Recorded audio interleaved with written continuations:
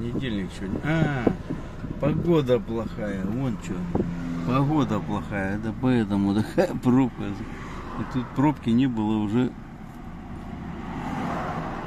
Как эстакаду открыли, там пробки не было. Вот тебе опять есть.